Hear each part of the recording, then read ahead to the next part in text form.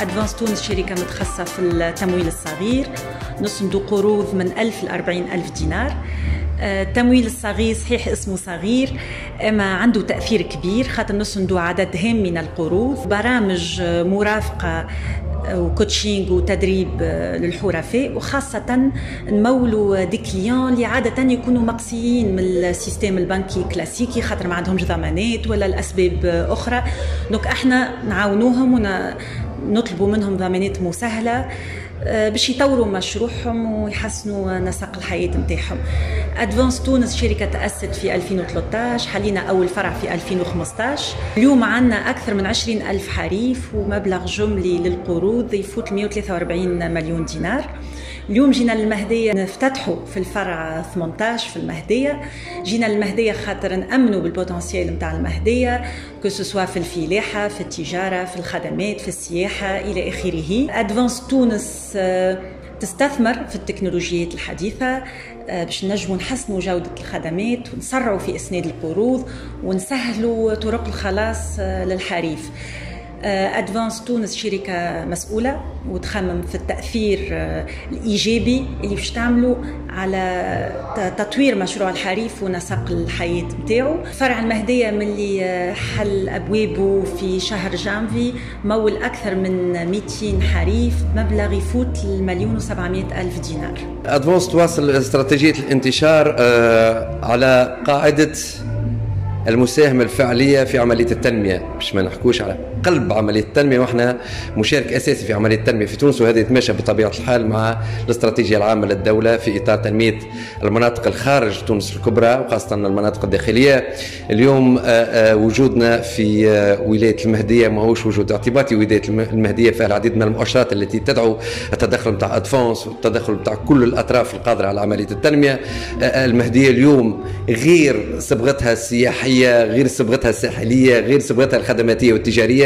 هي زادة قطب من أقطاب الألبان في تونس. وتعرفوا هذا القطاع قطاع حساس جدا مع بعض القطاعات نتاع الشمال الغربي والوطن القبلي. نحن اليوم استهدافنا لكل الفئات اللي تمتلك مشاريع واللي ما عندهاش إمكانية نتاع الحصول على القروض التقليدية عن القروض البنكية. عملية تسهيل كبيرة في إطار التواصل في إطار الشفافية في إطار تقديم خدمات اللي تناسب خصوصية الجهة وخصوصية خاصة الفلاحين. وقت اللي نحكوا فلاحين خاصة الألبان وقطاع الصيد البحري في تونس. مع هذا أدفونس في كل فروعها هي بالضرورة تساهم بشكل مباشر في التقليص من حدة البطالة خاصة للخريجين عملية الانتداب اللي تتم في كل الولايات هي من شباب الولايات.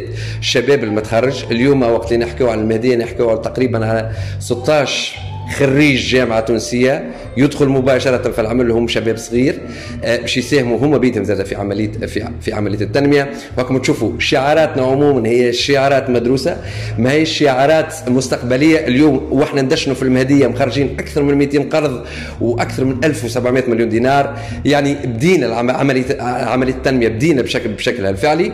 وقت اللي نحكيو على التنمية ما نحكوش على نساعد على التنميه بل بالعكس نحن في قلب التنمية ونقوموا بها موجودين على الميدان. وإن شاء الله كما نجحنا في عملية الانتشار السابقة في 17 الفرع السابقين باش ننجحوا في في المهدية. وإن شاء الله باش ننجحوا في الفروع القادمة اللي إن شاء الله في الكيف وبقية ولايات الجمهورية التونسية. بالتوفيق. كل الشكر للفريق العامل من البداية الفريق بتاع ال logistique اللي خدم الأول على ال local وعلى الدنيا كل حتى الفريق بتاع العمليات التجارية لليوم للفريق بتاع المهدية زاد مشكور إنه إلى حد هذه اللحظة بدينا نشوفوا في مؤشرات نجاح عملية نسق سريعة و خدمات زاد متميزة. إن شاء الله في جوان باش نفتتحوا زاد الرقم 19 في الكيف في إطار استراتيجية القرب أكثر من المناطق الداخلية وخاصة المناطق الفلاحية.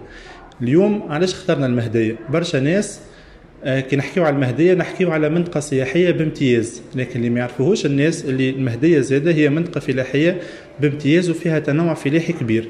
اليوم المهدية تمثل 10% من الناتج الداخلي الخام الفلاحي للبلاد التونسية. فيها تنوع كبير في الفلاحة متاعها بين الصيد البحري الزيتون وتتسمى الباسان ليتيي في في تونس. الإنتاج الحليب تتميز به المهدية. إضافة على ذلك فما 27 ألف فلاح إضافة إلى 27 ألف صاحب باتيندا ومشروع. هذا التنوع الكبير في في التركيبة الفلاحية يخلي إنه فما حاجيات للتمويل خاصة في الفلاحة. يخلي أيضا إنه فما حاجيات تمويل كبيرة لاصحاب المشاريع اللي نسميوهم تجارية. وكان عندنا إقبال كبير وقت اللي حلينا عندنا خمسة شهور. اليوم بعد خمسة شهور آه، الإقبال كان في مستوى التطلعات نتاعنا. وقمنا بإسناد ما يقارب 200 آه، قرض بقيمة جملية تقدر ب 1.7 مليون دينار. إن شاء الله نقدموا الإضافة اللازمة في المهدية. نقوموا بتلبية حاجات حاجيات حرفائنا ونكونوا في حسن الانتظار إن شاء الله.